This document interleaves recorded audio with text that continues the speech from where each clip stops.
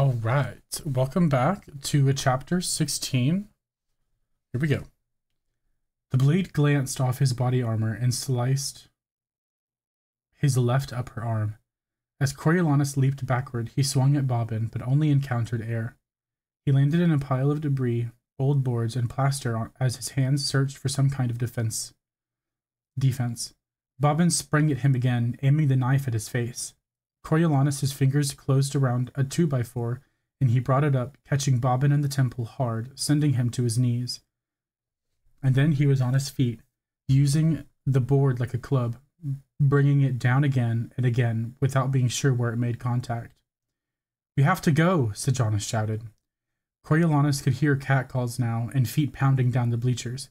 Confused, he made a move toward Marcus's body, but Sejanus yanked him away. No, leave him, run! Needing no persuasion, Coriolanus sprinted for the barricade. Pain shot from his elbow to his shoulder, but he ignored it, pumping his pumping his arms as hard as he could, the way Professor Sickle had taught him. When he reached the barricade, barbed wire bit into his shirt. As he turned to pull it free, he saw them, the two just tributes from District 4, Coral and Mizzen, and Tanner, the slaughterhouse kid, making straight for him, armed to the teeth. Mizzen drew his arm back to throw a trident. The fabric on Coriolanus' sleeve ripped wide as he yanked it from the barbed wire and dove out of the line of fire, with Sejanus right behind him. Only a few weak rays of moonlight penetrated the layers of the barricade, and Coriolanus found himself crashing into wood and fencing like a wild bird in a cage, surely alerting any tribute who'd somehow missed his presence. He ran face first into a concrete slab, and Sejanus plowed into him from behind, smacking his forehead into the unrelenting surface a second time. When he pushed back, it was as if concussion had never left. His head throbbed, and a cloud of confusion descended. The tributes stared up a whooping, started up a whooping sound, rattling their weapons against the barricade as they tracked the mentors through the labyrinth. Which direction to go? The tribute seemed to be all around them. Sejanus grabbed his arm and began to pull him, and he stumbled blindly along behind, wounded and terrified. Was this it then? Was this how he died? The fury at the injustice of it all, the mockery it made of his existence, sent a surge of energy through him, and he crashed past Sejanus, finding himself on his hands and knees in a cloud of soft red light. The passageway, up ahead, he could make out the turnstiles where the peacekeepers were clustered at the temporary bars. He ran for his life. The passage wasn't long, but it seemed interminable. His legs rose and fell as if he were high, as if he were waist high in glue, and black specks dotted his vision. Sejanus stayed steady at his elbow, but he could hear the tributes gaining. Something heavy and unyielding. A brick? Clipped the side of his neck, Another object punctured his vest and stuck, bobbing ahead, bobbing behind him until it fell with a clank. Where was the cover? The protective gunfire from the peacekeepers. There was nothing, nothing at all, and the bars still stood flush with the floor. He wanted to scream for them to kill the tributes, shoot them dead in their tracks, but his breath was in too short supply. Someone heavy footed shrank his lead to a few yards, but once again, remembering Professor Sickle's training, he didn't dare, dare waste a second looking back to see who it was. Before him, the peacekeepers finally managed to tilt the unit of bars inward, achieving a gap of about 12 inches at the ground. Coriolanus dove, sanding several layers sanding several layers of skin off his chin on the rough floor, just getting his hands beneath the bars, where the peacekeepers latched onto him and gave him a great yank. Lacking time to turn his head, the rest of his face scrap scraped against the filthy surface until he reached safety. The guards dumped him immediately to retrieve Sejanus, who gave a sharp cry as Tanner's knife cut open the back of his calf before he slid out of range. Ugh. The bars were slammed into place and bolts locked down the unit, but the tributes were determined. Tanner, Mizzen, and Coral jabbed their weapons through the bars at Coriolanus and Sejanus, spewing hate filled taunts while the peacekeepers banged on the turnstiles with their batons. Not a shot was fired, not even a shot of pepper spray. Coriolanus realized that they must have been under orders to leave the tributes untouched. As the peacekeepers helped him to his feet, he spat out in rage. Thanks for having our backs! Just following orders. Don't blame us if Gaul thinks you're expendable, boy, said the old peacekeeper who'd promised him cover. Someone tried to steady him, but he shoved them off. I can walk, I can walk, no thanks to you. Then he listed sideways, almost hitting the floor before they hoisted him up again and made their way back through the lobby. Coriolanus babbled a long string of profanities which made no impression and hung in the grip in their grip like dead weight until they dropped him, unceremoniously just outside the arena. After a minute, they deposited Sejanus beside him. They both lay panting on the tiles that graced the front of the arena. I'm so sorry, Corio, said Sejanus. I'm so sorry. Corio was a nickname for old friends, for family, for people Coriolanus loved. But this was the moment Sejanus decided to try it out.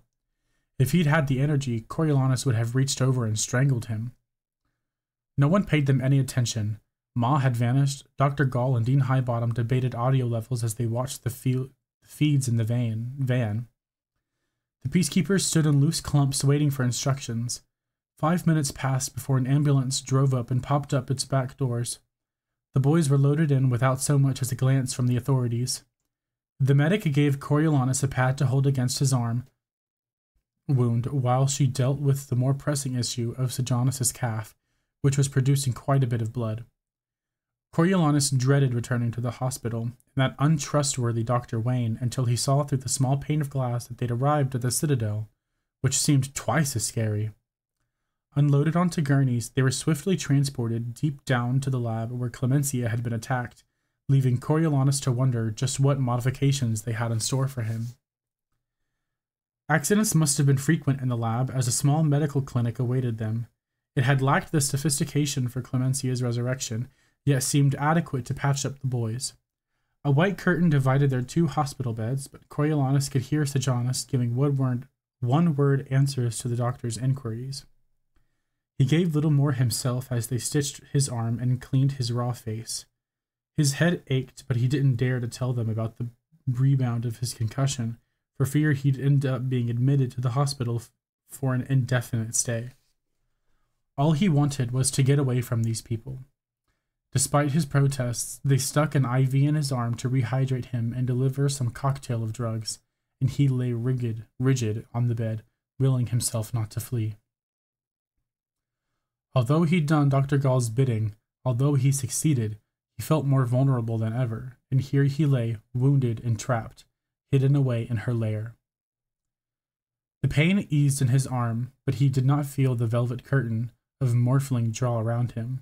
Some alternative drug must have been administered, because if anything, his mind felt a heightened sharpness, and he noticed everything, from the weave of the bedsheet to the tug of the tape on his raw skin, to the bitter taste the metal cup of water left on his tongue. Peacekeeper Boots approached and withdrew, taking a limping Sejanus with them. Deep in the lab, a round of squeals heralded some creature's feeding time, and the faint scent of fish re- reached him.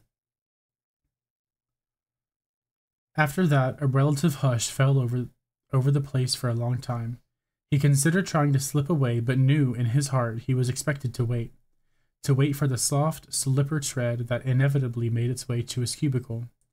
When Dr. Gaul pulled him pulled back the curtain, the twilight of the nocturnal lab gave Coriolanus the strange impression that she stood on the edge of a cliff.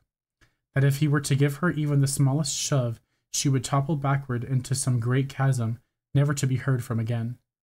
If only, he thought, if only. Instead, she moved forward and placed two fingers on his wrist, checking his pulse. He flinched at the feel of her cool, papery fingers. I started out as a medical doctor, you know, she said. Obstet- obstetrics. Obstetrics. Hmm. Wasn't really for me, said Dr. Gaul.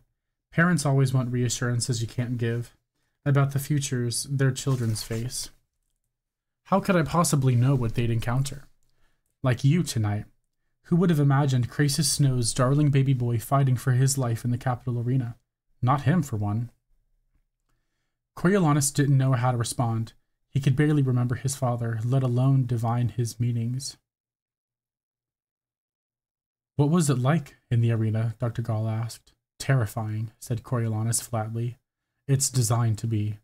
She checked his pupils, shining a light into each of his eyes. What about the tributes? The light hurt his head. What about them? Dr. Gaul moved on to his stitches. What did you think of them, now that their chains have been removed? Now that they've tried to kill you? Because it was of no benefit to them, your death. You're not the competition. It was true. They'd been close enough to recognize him, but they'd hunted him they'd hunted down him and Sejanus. Sejanus, who treated the tributes so well, fed them, defended them, given them last rites, even though they could have used that opportunity to kill one another. I think I underestimated how much they hate us, said Coriolanus. And when you realized that, what was your response? she asked. He thought back to Bobbin, to the escape, to the tribute's bloodlust, even after he'd cleared the bars. I wanted them dead. I wanted every one of them dead. Dr. Gaul nodded. Well, mission accomplished with that little one from eight. You beat him to a pulp. Have to make up for some of that buffoon Flickerman to tell. Ooh. Well, mission accomplished with that little one from eight. You beat him to a pulp. Have to make up some story for that buffoon Flickerman to tell in the morning. But what a wonderful opportunity for you. Transformative. Was it? Coriolanus remembered the sickening thuds of his board against Bobbin. So he had what? Murdered the boy? No, not that. It was an open and shut case of self defense. But what then? He had killed him, certainly. There would never be any erasing that, no regaining that innocence. He had taken human life. Wasn't it? More than I could have hoped. I needed you to get Sejanus out of that arena, of course, but I wanted you to taste that as well, she said. Even if it killed me, asked Coriolanus. Without the threat of death, it wouldn't have been much of a lesson, said Dr. Gaul. What happened in that arena? That's humanity undressed. The tributes, and you too. How quickly civilization disappears. All your fine manners, education, family background, everything you pride yourself on, stripped away in the blink of an eye revealing everything you actually are a boy with a club who beats another boy to death. That's mankind in its natural state. The idea, laid out as such, shocked him, but he attempted a laugh. Are we really as bad as all that? I would say yes, absolutely, but it's a matter of personal opinion. Dr. Gaul pulled a roll of gauze from the pocket of her lab coat. What do you think? I think I wouldn't have beaten anyone to death if, death if you hadn't stuck me in that arena, he retorted. You can blame it on the circumstances, the environment, but you made the choices you made, no one else. It's a lot to take in all at once, but it's essential that you make an effort to answer that question. Who are human beings? Because who are we to determine the type of governing we need? Later on, I hope you can reflect and be honest with yourself about what you learned tonight. Dr. Gaul began to wrap his wound in gauze and a few stitches in your arm is a cheap price to pay for it. Coriolanus felt nauseous at her words, but even more enraged that she had forced him to kill for the sake of her lesson. Something that significant should have been his decision, not hers. No one's but his. So if I'm a vicious animal, then who are you? You're the teacher who sent her student to beat another boy to death. Oh, yes, that role has fallen to me. She neatly finished the bandage off. You know, Dean Highbottom and I read your essay through. What you liked about the war. A lot of fluff. Drivel, really. Until the bit in the end. The part about control. For your next assignment, I'd like you to elaborate on that. The value of control. On what happens without it. Take your time with it, but it might be nice, but it might be a nice addition to your prize application. Coriolanus knew what happened without control. He'd seen it recently, at the zoo when Arachne died, in the arena when the bombs went off, and then again tonight. Chaos happens. What else is there to say? Oh, a good deal, I think. Start with that. Chaos, no control, no law, no government at all. Like being in that arena. Where do we go from there? What sort of agreement is necessary if we're to live in peace? What sort of social contract is required for survival? She removed the drip from his arm. We'll need you back in a couple of days to check those stitches. Until then, I would keep the night's events to yourself. Better get home and catch a few hours of sleep. Remarkably, your tribute still needs you. After she left, Coriolanus slowly pulled on his sliced, torn, bloody shirt and fastened the buttons.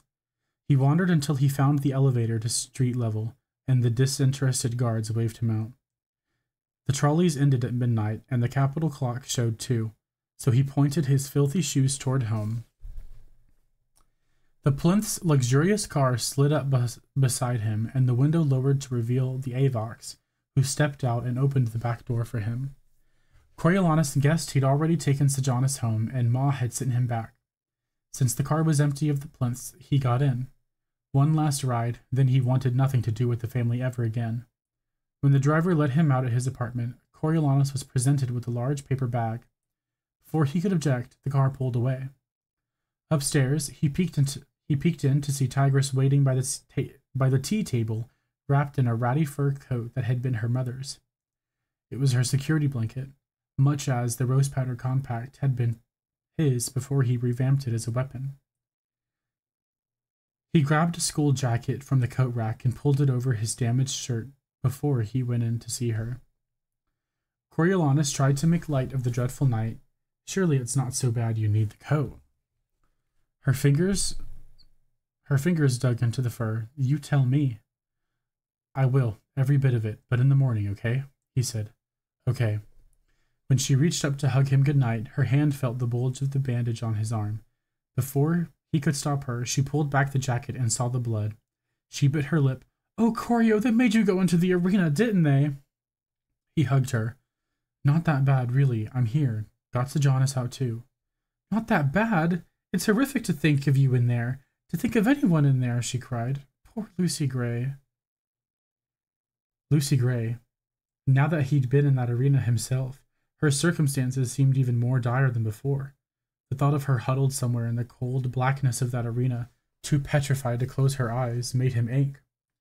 For the first time, he felt glad he'd killed Bobbin. At least he'd save her from that animal. It's going to be okay, Tigris, but you have to let me get some rest. You need some sleep too. She nodded, but he knew she'd be lucky to snatch an hour or two.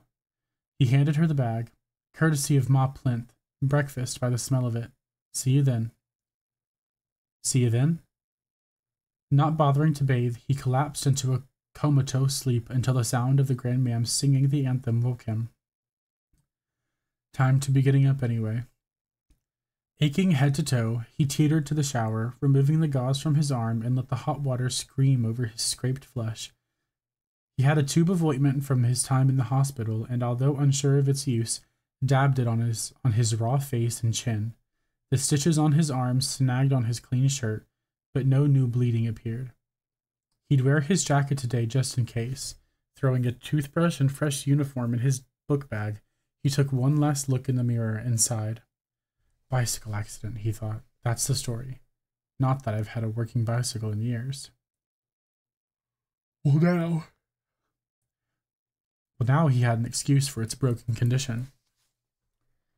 Once he was presentable, the first thing he did was check the television to make sure no harm had come to Lucy Gray, but the camera hadn't shifted, and the only tribute visible in the early morning light was Lamina on her beam. Avoiding the Grandma'am, he came into the kitchen where Tigris was warming up the leftover jasmine tea. Running late, he said, I better get going. Take this for breakfast. She put a packet in his hands and placed a pair of tokens in his pocket. And take the trolley today. Needing to conserve energy, he did as he was told, riding the trolley and eating two loaded egg and sausage rolls Mrs. Plinth had sent over. His only regret about ditching the Plinths would be the loss of her cooking. The main student body had been told to report at a quarter to eight, so the early birds consisted of the active mentors and a few avoxes tidying the hall. Coriolanus couldn't help throwing a guilty look at Juno Phipps, who sat discussing her strategy with Domina, Domitia, Domitia, when she could have slept in. She didn't much like her. She always she was always throwing her family lineage in his face, as if his wasn't as good. But last night hadn't been fair to her either. He wondered just how they would reveal Bobbin's death and how he would feel when they did, besides Queasy. The only thing being served at Heavensby Hall was tea, which brought grumblings from Festus. If we have to be here early, you'd think they they could at least fed us. What happened to your face? Bike accident. Coriolanus said, loud enough for everyone to hear. He tossed the bag with the last roll to Festus, happy to be able to offer food for a change. He owed the Creeds more meals than he cared to remember. Thanks, this looks great, said Festus, digging in immediately. Lysistrata recommended a cream to prevent infection, and they went ahead and took their seats as their schoolmates began to arrive. Although the sun had been up for a few hours, nothing much appeared to change on the screen except the disappearance of Marcus's body. I guess they removed it, said Pup. Coriolanus thought it might still be by the barricade where he and Sejanus had abandoned it last night, just out of range of the shot. At the stroke of eight, they all rose for the anthem, which was which his classmates finally seemed to be getting a handle on, and then Lucky Flickerman appeared, welcoming them to day two of the Hunger Games. While you were sleeping, something pretty important happened. Let's take a look, shall we? They cut back to the wide shot of the arena, and then slowly panned the camera around to the barricade, zooming in. As Coriolanus had suspected, Marcus's body lay there, lay where he and Sejanus had dropped it. A few feet away, Bobbin's battered Bobbin's battered form slumped against a clunk of concrete. It looked much, much worse than he'd imagined. The bloody limbs he dislodged, the dislodged eye, the face so swollen it was unrecognizable. Had he really done that to another boy? And such a young boy, too, for in death Bobbin looked tinier than ever. Lost in that dark web of terror, it seemed he had.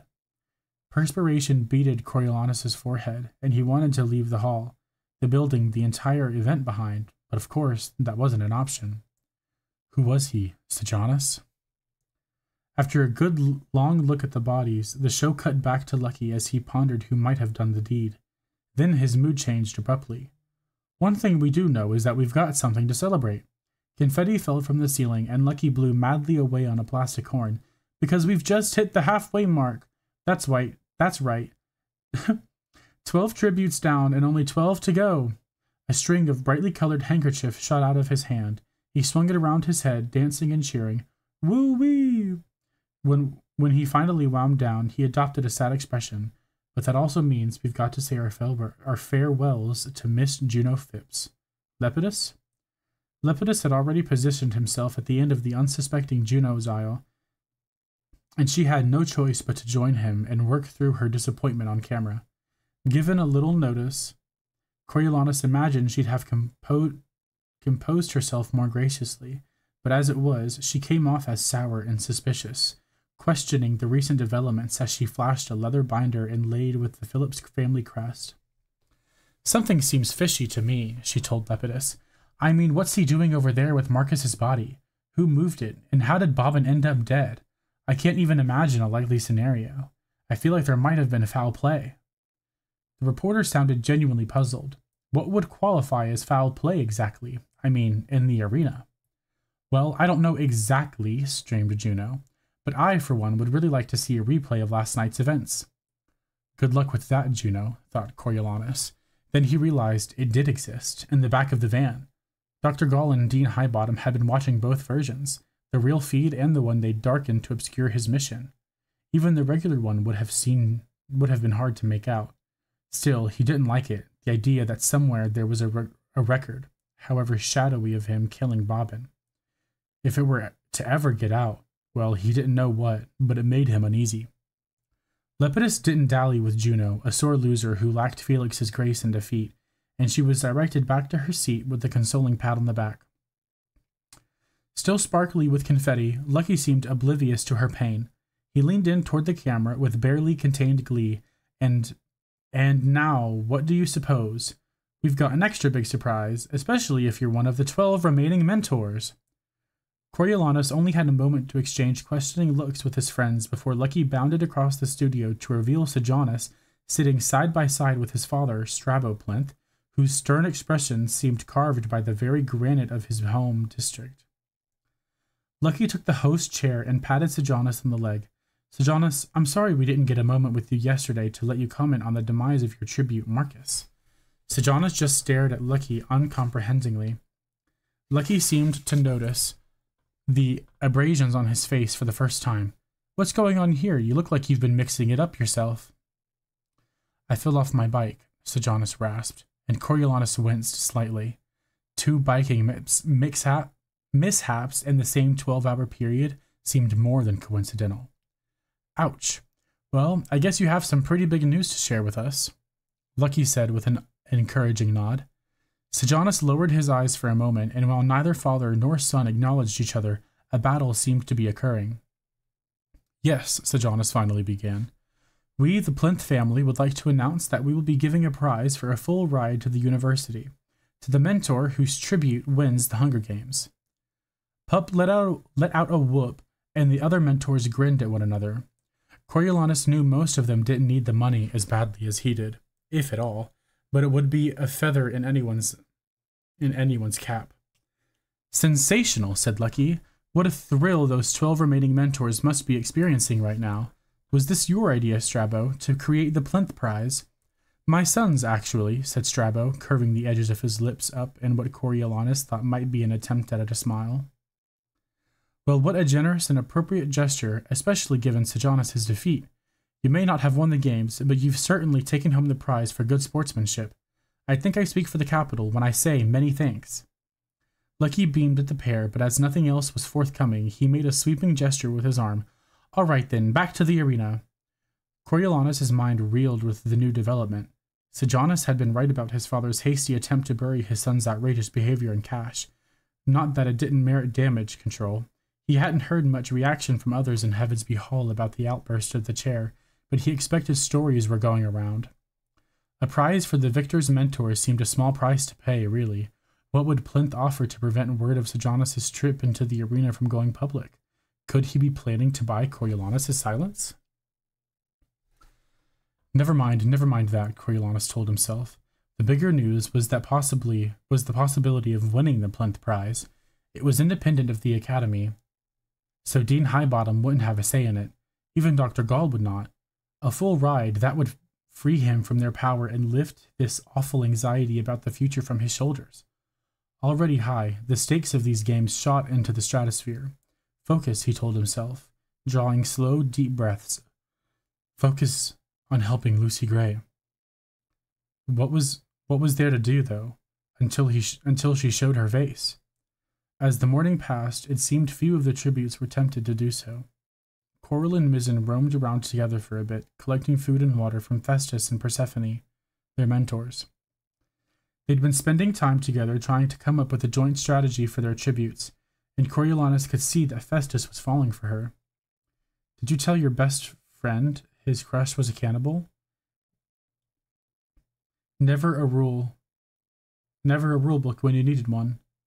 When they returned to the dais after lunch, they found the mentor's seats had been reduced to 12, leaving only enough space for those with tributes still in the games. The game makers requested it, Satyria told the final dozen. It makes it easier for the audience to keep track of who's still a contender. We're to keep removing seats as your tributes are killed, like musical chairs, said Domitia with a pleased look. But with people dying, said Lysistrata. The decision to bump the losers from the dais made Livia even more bitter, if that was possible, and Coriolanus was glad to see her relegated to the regular audience section where he wouldn't have to hear her snarky comments. On the other hand, it made it harder to put distance between himself and Clemensia, who seemed to spend all her free time glaring at him. He positioned himself in the last row, bolstered by Festus and Lysistrata, and tried to look engaged. As the afternoon unrolled, his head got heavier and heavier until Lysistrata had to nudge him twice to keep him awake. Perhaps it was fortunate the day required so little of him, given that the night had almost killed him. There were few tribute sightings, and Lucy Gray stayed completely hidden. Not until the late afternoon did the Hunger Games finally begin. Finally present the kind of action that people expected. The girl tribute from District 5, 5 a rickety little thing, who had been one of the unwashed herd to Coriolanus, made her way out onto the bleachers at the far end of the arena. Failing to find her name, Lucky just managed to connect her with her equally forgettable mentor, Iphigenia Moss, whose father oversaw the agriculture department and thus the flow of food around Panem. Contrary to expectations, Iphigenia always seemed on the verge of malnutrition, often giving her school lunch to her classmates and even blacking out on occasion. Clemensia had once told Coriolanus it was the only revenge she could take on her father, but refused to give any more details. True to form, Iphigenia began to unload every bit of food she could on her tribute, but even as the drones made the long trek across the arena, Mizzen, Coral, and Tanner, who appeared to have formed some sort of pack after the previous night's adventure, materialized from the tunnels and began their hunt. After a brief chase along the bleachers, the trio surrounded the girl and Coral killed her with a trident to the throat. Well, that's that, said Lucky, still unable to locate the tribute's name. What can her mentor tell us, Lepidus? Iphigenia had already sought out Lepidus. Her name was Sol, or maybe Sal. She had a funny accent, not much more to tell. Lepidus seemed inclined to agree. Nice job getting her to the second half, Albina. Iphigenia, said Iphigenia over her shoulder as she walked off the dais. That's right, said Lepid- Lepidus, and this means there's only eleven tributes left, which means ten between me and that prize, thought Coriolanus as he watched an Avox remove Iphigenia's chair. he wished he could get food and water to Lucy Gray. What would happen if he sent it in without knowing her location. On screen, the pack collected Sol or Sal's food and moved back toward the tunnels, probably to get some rest before the night came. Should he risk it now? He discussed it in whispers with Lysistrata, who felt that it might be worth a try if they sent in drones together. We don't want them getting too weak or dehydrated. I don't think Jessup's gotten anything in days. Let's wait and see if they try and contact us. Let's give them another. Let's give them until the supper break. But Lucy Gray made an entrance just as the student body was being released to go home. She darted out of a tunnel, running at full pitch, her hair loosening from her braids and flying free behind her. Where's Jessup? said Lysistrata with a frown. Why aren't they together? Before Coriolanus could venture a guess, Jessup staggered out of the same tunnel Lucy Gray had fled from. At first, Coriolanus thought he had been wounded, possibly while defending Lucy Gray. But then what had accounted f- but then what accounted for her flight? Were other tributes in pursuit? As the camera moved in on Jessup, it's become apparent that he was ill, not her. Stiff limbed and feverish with excitement, he swiped at the sun a few times before crouching down and springing almost immediately back to his feet for his first close up. Coriolanus wondered if Lucy Gray had found a way to poison him, but that didn't make sense. Jessup was too valuable as a prospect, or as a protector, especially with the pack that had formed last night running around. What then ailed him? Any number of things could have sickened him, any range of maladies been suspected, if it hadn't been for the telltale foam that began to bubble over his lips. Ooh. All right, that's the end of chapter 16. Thank you so much, and I will see you later.